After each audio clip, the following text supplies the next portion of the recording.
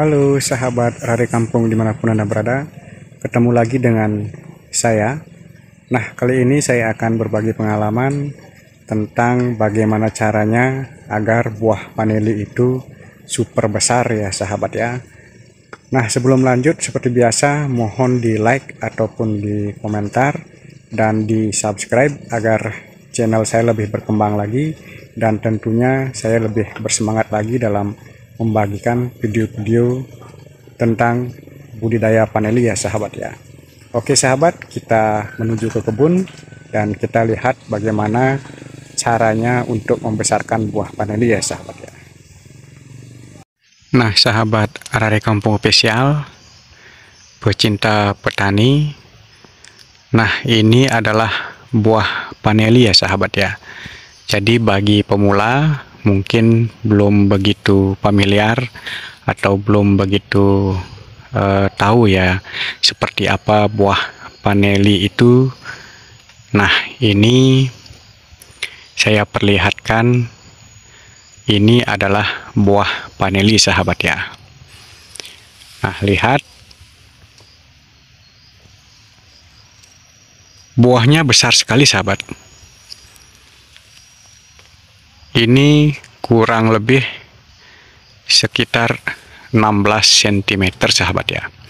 Dan besarnya serta panjangnya merata sahabat ya.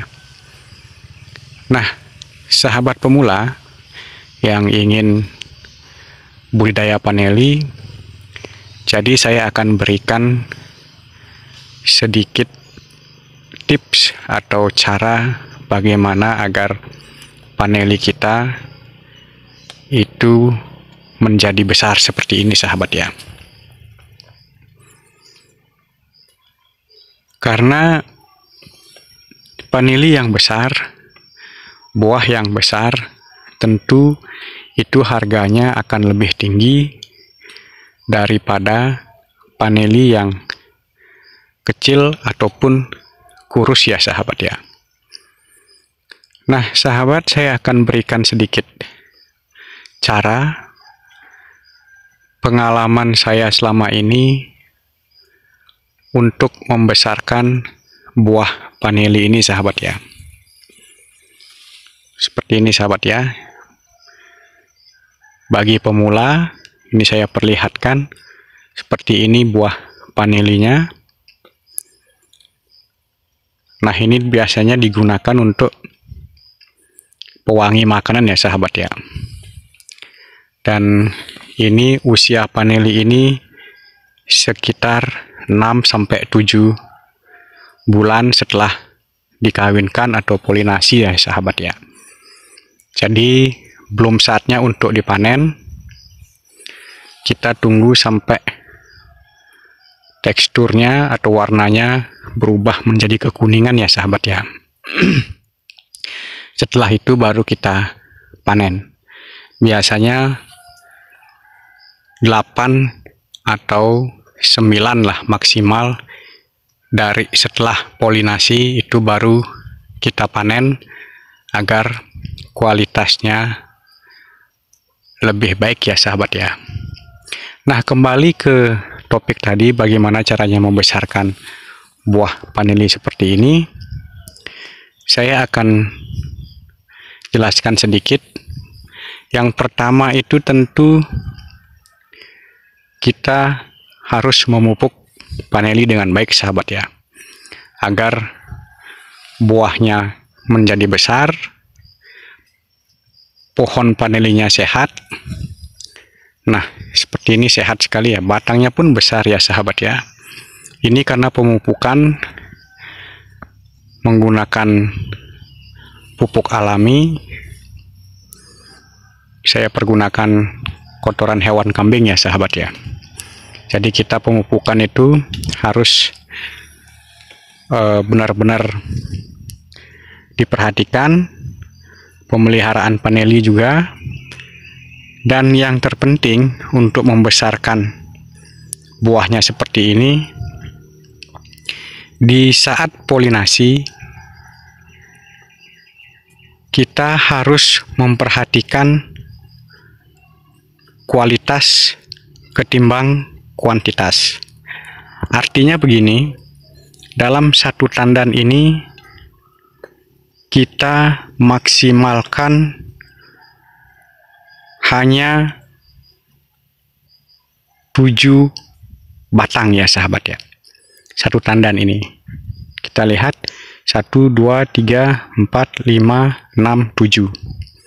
Jadi kalau 7 batang dalam satu tandan ini maka hasil buahnya akan lebih besar. Artinya kualitas buahnya akan menjadi super seperti ini. Ini buahnya besar sekali sahabat. Bisa dibilang seukuran jempol orang dewasa. Karena kita di saat polinasi hanya melakukan penyerbukan maksimal 7 batang ya sahabat ya kalau lebih dari 7 atau maksimal 10 batang ya sahabat ya kalau lebih dari 10 batang dipastikan buahnya akan menjadi kecil. Itu ya sahabat ya. Kuncinya itu di sana. Artinya kita mengedepankan kualitas ketimbang kuantitas. Kalau kita biarkan dalam satu tandan ini itu bisa lebih dari 20 batang sahabat. Tetapi kalau kita polinasi semua 20 batang itu kalaupun nanti jadi itu buahnya akan menjadi kecil. Oke sahabat kita lihat uh, panelis selanjutnya dalam proses polinasi. Saya sudah polinasi tadi pagi. Kita lihat sebentar ya sahabat ya. Nah seperti ini sahabat.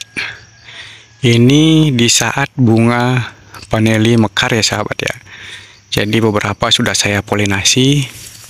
Kita lihat ada satu 2, 3, 4, 5, 6 7 8, 9 calonnya ada 9 tetapi yang saya lakukan penyerbukan itu hanya 1 2 3 4 5 6